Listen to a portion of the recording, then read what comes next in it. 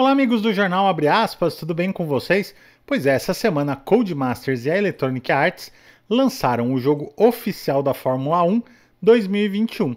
Não é o meu tipo de jogo favorito, não, viu, gente? Não gosto muito de jogos ligados a esportes, porém, tenho, claro, uma baita memória afetiva com a Fórmula 1, principalmente das vezes que eu passava de madrugada assistindo as corridas com a Ayrton Senna. Boas lembranças desses momentos, não é mesmo?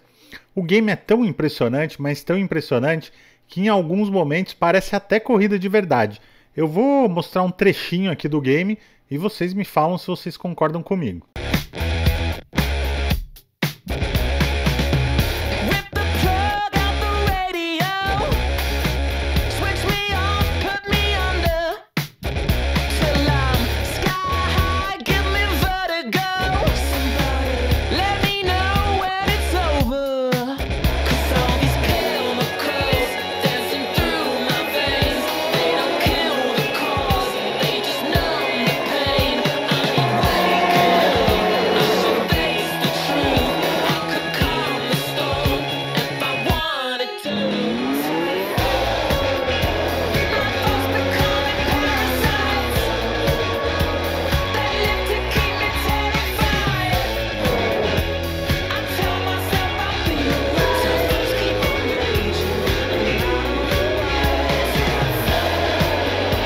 Gente, só tá faltando desenvolver agora uma tecnologia que faça a gente sentir o vento quando o carro passa na curva na frente da televisão, não é mesmo?